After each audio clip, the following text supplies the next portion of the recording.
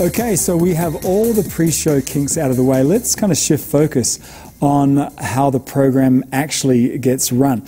So let's start at the top and really discuss how you power everything up and what order you do that in.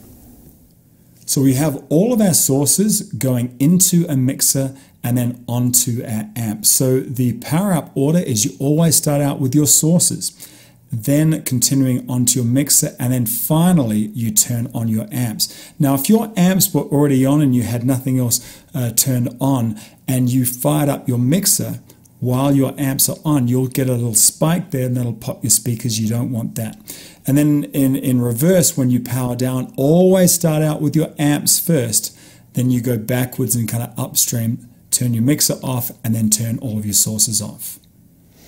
A major thing to consider in terms of preparation is to have run sheets. Now, if you're running, you know, a backyard concert, you may not have anything more than, you know, just a set list. But if you're going to be doing a show that has multiple presenters, uh, video feeds, multiple singers, uh, multiple solos, you really got to have a game plan. Now, because many of you are going to be doing this in a house of worship, I'll follow through an example in a typical church service. If you're running an outdoor music festival, uh, you can kind of get an uh, idea of what we're doing here. What we're basically trying to do here is just capture all the clue, uh, sorry, all the cues that we have to keep an eye out for.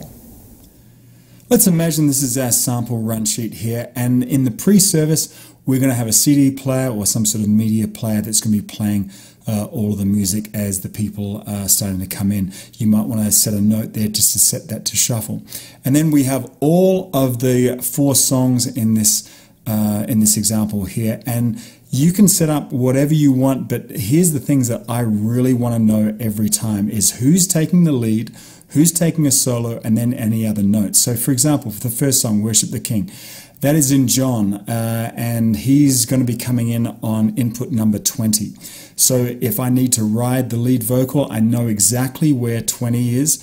And then the same thing is that if there's a solo in the middle of the song, that's coming off of Gary's electric guitar, which is coming in uh, number uh, 26. And then if there's some, uh, on the next song, if there's, a, say, a duet between John and Leslie, uh, they're coming in on 20 and 21. So make sure I can ride both of those. Uh, who's going to be taking a solo on that? Maybe a saxophone solo uh, on number uh, input number 28. And then also put some notes in there. Uh, it's a guitar ridden, uh, sorry, guitar um, driven song. So we want to make sure that we ride our guitars fairly hot. If you have a bunch of different guitars, you may want to put them on subgroups so you can ride the entire group if you like.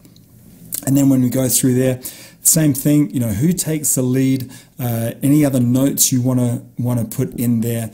Um, in the heel of the, your heart, you can see that there's there's no backing vocals. So if you have a mute group for all your backing vocals, that'd be a great place to just drop them out and make sure that um, those microphones don't don't feed back.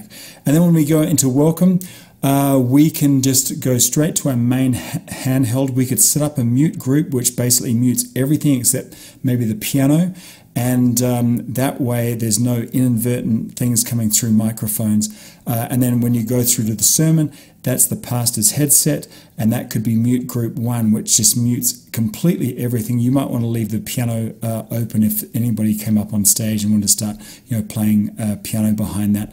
And then in the video announcements, you might want to mute all the microphones and make sure your video feed that is coming from your from the computer or your video people is uh, is open. In terms of hitting target SPL levels, in other words, if you want to have consistency week after week in your services, then just go out and get yourself an SPL uh, meter, or you can just use some of the apps that are on iPads and things like that to kind of give you an idea of how loud uh, your service is. So place them at the front of house position and there's no magic number. You know, I'm not going to say, okay, everything's got to be, you know, 82. Well, you know, compare a, you know, a loud gospel versus a, you know, a more folksy kind of service there's there's no magic number. The magic number is the person in charge says, "Hey, I want it this loud and no louder." So let's imagine they said, "Okay, I want it to be 85," and um, so if you can kind of keep it around there, that is the the place to do it. But here's the deal: the target SPL levels uh, on these meters they can either be what they are called C weighted or they're A weighted. Now, as you can see, the C weighted uh, across from the low frequencies to the high frequencies is fairly flat. The A weighted is uh, tends to um, more closely uh, represent the way the human ear actually hears the, um, from low frequencies to high frequencies. In other words, we're not so sensitive to low frequencies as we are to high frequencies. So if you're at a, a, fairly low level, you know, just a just a regular church service, I would use an A weighting in terms of how loud things are.